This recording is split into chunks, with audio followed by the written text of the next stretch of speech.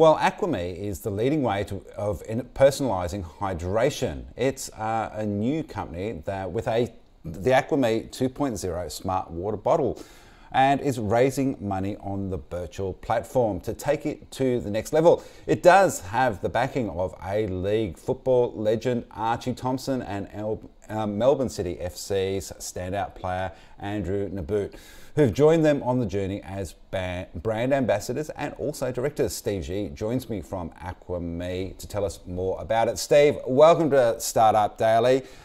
I mean, Matt was talking about this at the top of the show. We forget to drink water. I've gone through my glass today, but I know I don't get through enough. Tell us a little bit about the Aquame, Aquame bottle and how it works. So, the Aquame water bottle helps you track your daily intake. You can set your daily hydration goals as you drink from the bottle, the bottle smart chip records how much water has been taken from the bottle. It monitors it. So basically, you can, on the app, you can track how much you have drank and how much you have reached your target. You can also set reminders how much you want to drink and when you want to drink, or give you a free, uh, friendly reminder, basically tell you time to get hydrated. I mean, I do think it is one of those things that blokes do forget, and at the end of the day, we've had plenty of coffee and then a few beers and probably not enough hydration. Why does it matter, this problem? So hydration is a massive issue among consumers. So funny question is, most of us know how to get hydrated. So, but uh, uh, the most the most common issue is we start to drink more when we feel dehydrated, we feel thirsty. So that's a bad sign of it. So that's when the new bottle Aquame 2.0 comes in. That's like a hydration coach. It helps you hydrate. It works out when you need to hydrate, how much you need to drink pre-work workout, pre-exercise, and how much you need to drink post-exercise and post-workout. All right, tell us a little bit about this Birchal campaign, Steve. What are you looking for and what does it mean to take Aquame to the next level? So we're looking to raise up to half a million dollars on the Birchal platform.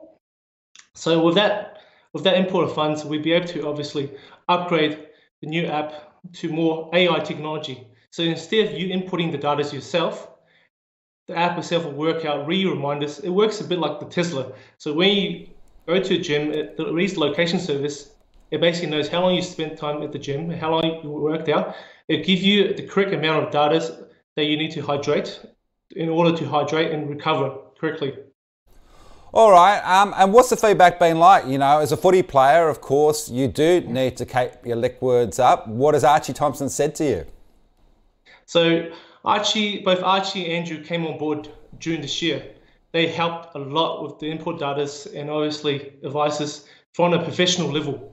So they're basically advising what you need to hydrate, when you need to hydrate, and sort of the level and obviously other new features on the app. They've helped quite a lot. So from a normal consumer level, you're able to experience what the professionals need and help they get. All right, and um, do you have international ambitions for the product as well? So it was always on the cards when we started the company. So to expand to obviously the US, the UK, and even the Middle East markets. So to give you an idea how big the smart water bottle market is in the US itself is $380 million cap market back in 2021. So if we're able to expand to the US later on this year or next year, it would be great for the company.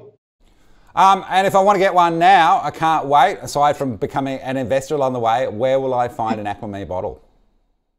So we've been approached. So ever since uh, June last year, we started our B2B model. So we were being approached by, a funny thing is, a farmers. So uh, a farmers called, a franchise called Mr. Vitamin. They've got six stores located in Sydney. Uh, are probably rolling out in all their stores by end of this month.